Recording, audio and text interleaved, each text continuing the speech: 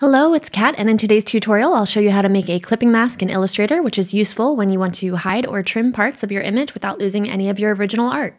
For this demo, I'll be using this cookie dough artwork, and we'll trim it to the shape and size of the artboard using a basic clipping mask. When you're first learning about clipping masks, I find a useful analogy is thinking of the clipping shape as you would a cookie cutter, and we're going to hide everything outside the edges of the cookie cutter, and essentially the art in the center will be revealed. The two most important things to note about making a clipping mask are that the shape you're using to actually trim your art needs to be on top of all of the art that you want to clip, and the shape just needs to be either a single shape or a compound path. For this tutorial, I'll be using a simple rectangle just to trim the artwork to the size of the artboard, which is a very common use for clipping masks. I have my cookie art ready to trim. You can see it's all on one layer that consists of multiple groups and a few paths.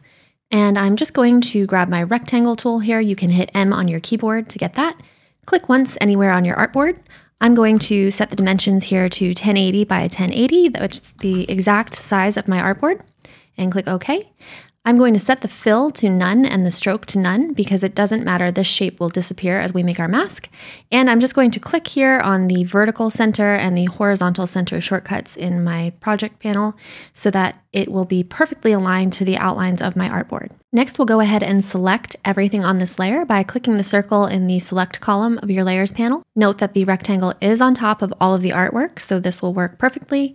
And now we're going to go to Object, Clipping Mask, make. You can also use the keyboard shortcut Control 7 on a PC or Command 7 on a Mac. Now you can see that our art is trimmed to the clipping mask, but the nice thing is the original artwork still exists and is still editable.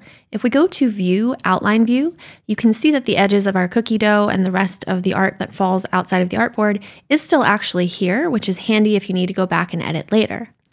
Going back to our regular preview here, just to show you in the layers panel, this will create a clip group, which is nice because you can move this around without worrying about the background moving independently from your clip shape. You can also add artwork to the clipping group very easily. Say I wanted to add another chocolate chip over here, and it's somewhat off the artboard and I just want that to be inside the clip group. I can grab it from my layers palette and drag it inside that clip group, and you'll see that it's cropped the same as all of our original cookie dough art. If you want to edit inside the clip group, you can use your selection tool and double click anywhere in there.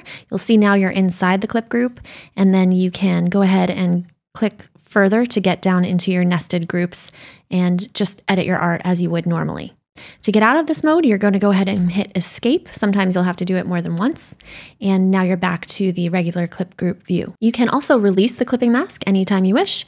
You can simply right click on it and go to release clipping mask. That's also found under the object menu. And now you're back to your ungrouped artwork. This is the most basic use of the clipping mask. You can also use much more complex shapes and even text to create really neat effects. If you're looking for a way to preview your artwork as if it's clipped and just hide everything outside of the artboard without using a clipping mask, I do have a tutorial on trim view, which you can watch here. I hope that was helpful. If it was, don't forget to leave a like, and please leave any questions you have in the comments down below. I'm always happy to help.